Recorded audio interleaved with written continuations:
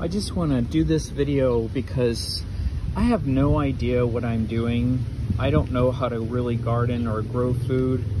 This was a piece of an onion that was cut in half and I just threw it inside of a container and started growing it and it's turned into six onions. I'm gonna break those up and separate them and plant them in a container. And here's another thing because people talk about how they recycle and all of that. And let me show you what real recycling is. This is a cookie container um, that I got chocolate chip cookies in. And if you open it up, you got baby arugula, rockhead arugula growing in here. Um, so there's a little greenhouse made out of a cookie container.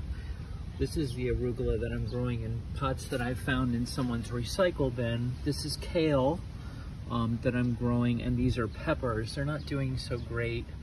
Anyone out there in the comments, you can say what's wrong with my peppers. I've been putting neem oil uh, on them. I don't know. This is red onion. Look at that. You can eat these, and I'm gonna dig those up and plant them.